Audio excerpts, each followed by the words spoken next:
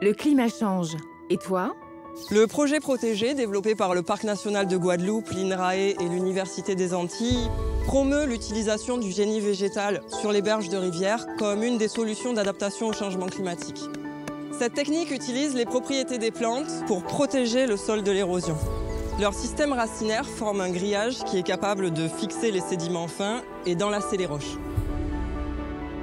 Notre champion, c'est le bois carré. Il résiste aussi bien à la sécheresse qu'aux fortes pluies. Cette solution fondée sur la nature diminue la température de l'eau, favorise la biodiversité et atténue les risques lors des crues.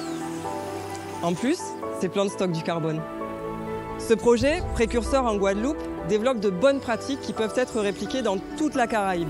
On n'empêchera pas l'eau de monter, mais on empêchera les berges de partir. Toi aussi, passe à l'action.